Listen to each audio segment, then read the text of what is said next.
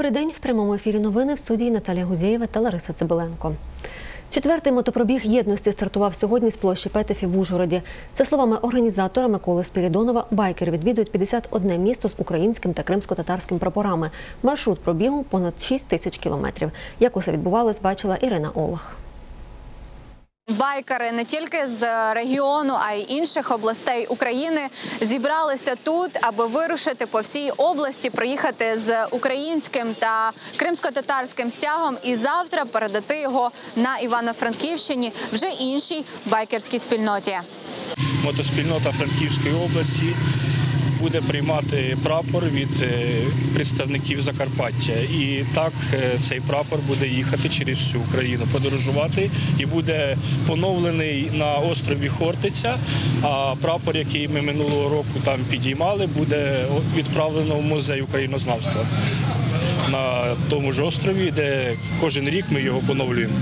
Байкери матимуть шість зупинок на Закарпатті. Це Мукачево, Берегово, Виноградів, Хуст та Тячів. Останньою буде селище Дубове. То є такі люди, які поприїжджали здалека із Харкова, з Одеси, щоб стартувати з Ужгорода. Хтось вийде з Ужгорода, закінчить в Мукачеві, хтось в Рахові, хтось в Варшаві, а хтось їде до кінця. Олександр Проценко приїхав до Ужгорода з броварів. Перше бере участь у мотопробігу єдності. Готувалися практично півроку. До цього проїзду я планував проїхати весь маршрут від Ужгорода і до Запоріжжя. Це мій байк. Я його теж люблю, так же само, як і, як і свою сім'ю. Ліля за байкерським прізвиськом Стрикоза з 2008-го їздить на мотоциклі. В мотопробігу бере участь втретє. Цьогоріч розписала частини свого байку петриківським розписом. В цьому році я вирішила приїхати не приїхати саме в Ужгород і закінчити в Запоріжжі. А мені вже до Дніпра там залишається всього 80 кілометрів. Ну щоб сюди добратися, я вже приїхала півтори тисячі. Якщо кажуть, заявлений е, мотопробіг 6,5 тисяч, то плюс мої ще півтори. Що чекаєте від цьогорічного мотопробігу? Єднання. Ми чекаємо, що всі таки зрозуміють, що наша Україна єдина. І нема такої лівої, правої, вона вся єдина. Тому тут дуже багато хлопців, дівчат, байкерів, які з усієї України приїхали сюди.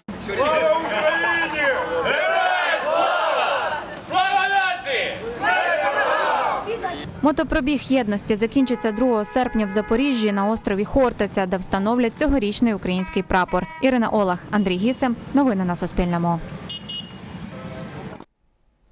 У 86 закарпатців підтверджено коронавірус за минулу добу. З них 15 медичні працівники, п'ятеро діти. Про це повідомили в обласному центрі громадського здоров'я. За добу найбільше захворілих на COVID-19 зафіксували в Міжгірському районі.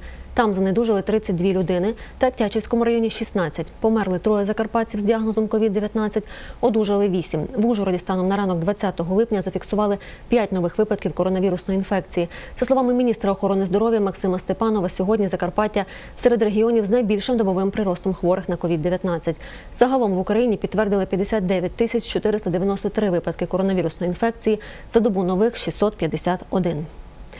Єпископа Мукачевської греко-католицької єпархії Мілана Шашіка поховали в крипті кафедрального греко-католицького собору в Ужгороді. В цьому храмі він відслужив 17 років. Пом'янути єпископа прийшли представники духовенства різних єпархій та віряни. Поминальну літургію за допомогою проєктора транслювали на вулицю. Більше в сюжеті Руслани Гостюк.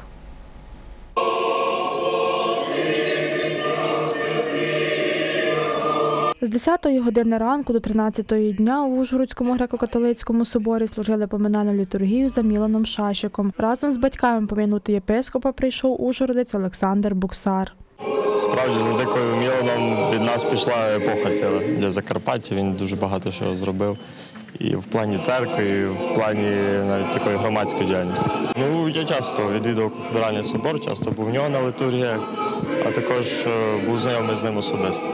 Оксана Шелепець познайомилася із Міланом Шашиком 13 років тому. З того часу відвідувала його літургії. Коли він був у білих ризах, я думала, що це ангел спустився на. Думала, зараз він розправить крила і підніметься у небо. Розумієте, це для мене щось святі. Перше, коли я його побачила, душа наповнилася радістю. І я зрозуміла, що в мене є чого жити, бо є такі люди, які мене оточують, священники.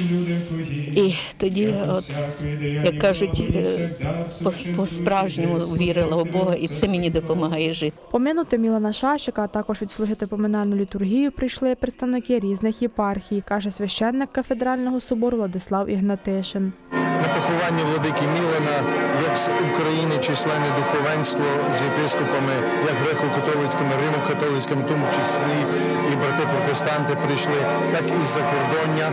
На жаль, часи пандемії е, ми є обмежені зараз також у е, поїздках і надійшло дуже багато е, виражень суму із Сполучених Штатів, з Канади, з Італії. Е, Були вони тут зачитані також з Німеччини. Взагалі про похорон владики Міла сьогодні ми поховали людину, яка дала приклад, як треба любити, розбудовувати Україну свій край. Після заупокійної літургії священники прийшли навкруг собору разом з труною Мілана Шашика. Далі єпископа поховали у крипті храму. За словами Владислава Ігнатишина, впродовж 40 днів віряни зможуть відвідати місце поховання владики. Нагадаю, Мілан Шашик помер увечері 14 липня через закупорку судини тромбом. Руслана Гостюк, Віктор Пойда. Новини на Суспільному. У ДТП загинув головний тренер ФК Мункач Віктор Ляшко. Про це повідомила речниця Нацполіції в області Ганна Дан. Аварія сталася 19 липня поблизу села Іванівці Мукачівського району. Автомобіль тренера, в якому також були двоє його дітей та дружина, зіткнувся з вантажівкою. Внаслідок зіткнення е, водій Мазди, а також двоє його пасажирів, серед яких була і 10-річна дівчинка, померли на місці. Ще одна жінка-пасажир цієї ж автівки була доставлена до лікарні для надання е, медичної допомоги. Також е, до лікарні було доставлено численними ушкодженнями і водія вантажівки. Зараз в поліції вже розпочато за даним фактом кримінальне провадження. Призначено необхідні експертизи для того, щоб встановити причини та обставини даної дорожньо-транспортної пригоди. Словами заступника директора Мукачівської районної лікарні Мирослава Гавришка, до лікарні доставили водія вантажівки та пасажирку легковика. Його привезли швидка допомога. Він е, є вдома. Він амбулаторний хворий з саднами, забоями м'яких тканин, і він не потребував стаціонарного лікування. Вона має забої кульшових суглобів, садна подряпини. Вона відмовилася від стаціонарного лікування. Ми її хотіли вчора залишити там е, з спостереження. Там важкий і виражений психоемоційний шок. Інформацію про загибель тренера футбольного клубу Мункач та його дітей підтвердив директор Мукачівської футбольної академії Золтан Сільвеші. То дочка його, член е, жінки від першого брата. Як телефонували мені з нашої обласної федерації, чи то правда, і потім в інтернеті була інформація. До міста Треді під'їхав один з наших тренерів. Про похорони знаємо, а більше інформації нема, що де хто знаходиться. Там е, в нашому мікрорайоні Підгорянах є греко-католицька церква звідти. Оприлюднені офіційні карти новоутворених районів України. Нагадаю, 17 липня Верховна Рада підтримала постанову уряду про скорочення кількості районів. Замість старих 490 районів утворено 136. На Закарпатті тепер 6 районів, найбільше за кількістю населення Хуський район. Далі Ужгородський, Мукачівський, Берегівський, Тячівський та Рахівський райони. Місцеві вибори 25 жовтня відбуватимуться у нових районах, де вибиратимуть нові районні ради. На цю годину у нас все. До зустрічі.